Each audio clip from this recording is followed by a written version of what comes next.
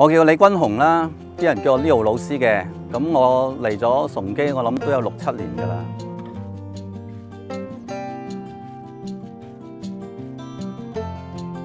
好多時候咧，神學生入到嚟讀神學，都有個浪漫嘅諗法，就係、啊，我可以拋低晒所有嘢，上山去學藝咁樣樣。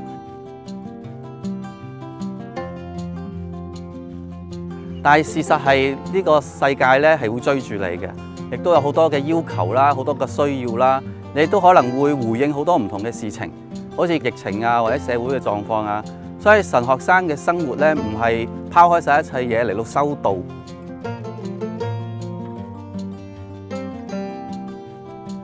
咁神學樓咧係崇基學院嘅其中一個宿舍啦。咁我作為社監咧，我就要即係照顧呢班嘅宿生啦。神學樓嗰個嘅特色係神學生同埋大學生、本科生係一齊住嘅，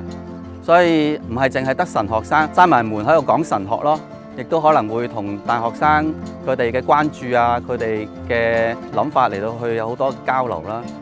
崇基學院神學院嗰個住宿安排咧，係如果你係未婚嘅，而你係讀 M.D. 或者 full time 嘅課程咧，你其實我哋都要求你住宿嘅，因為我哋覺得呢個群體嘅生活咧都好重要㗎。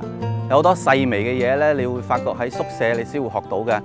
譬如你 roommate 係一個本科生，做嘢做到三更半夜嘅，你係咪會陪佢一齊三更半夜啊？定話你瞓覺嘅時候，你又點樣叫佢熄燈咧？啊，好多呢啲咁樣小問題咧，其實都磨練緊我哋嘅性格同埋我哋做人處事嗰啲嘅方法嘅。對於將來神學生畢業去喺教會侍奉嘅話，呢一樣嘢其實係好重要嘅一個一種訓練嚟嘅咯。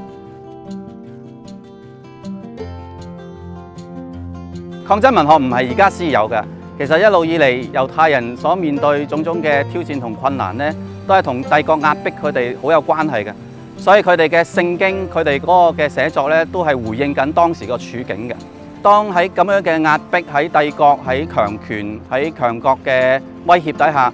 我哋唔能夠自主嘅時候，我哋又點樣忠於我哋嘅信仰呢？其實我頭先講嗰個 resistance literature，正正就係話俾我聽，以色列人喺種種嘅挑戰困難當中，係點樣堅持佢哋嗰個信仰，堅持佢哋同上主立約嘅關係咯。